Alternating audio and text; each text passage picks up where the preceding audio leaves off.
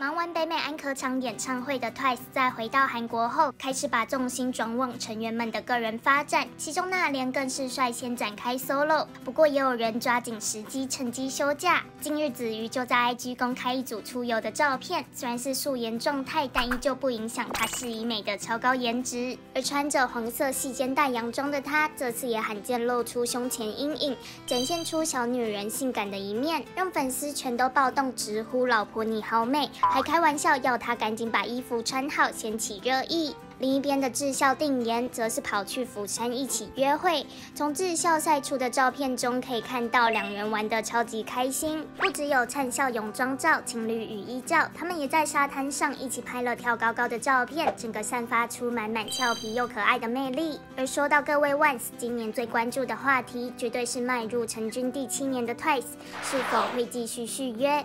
对此，JYP 也在近日首次做出回应，表示续约事宜正在进行。中相关消息将于即日正式宣布，希望等来的会是好消息呀。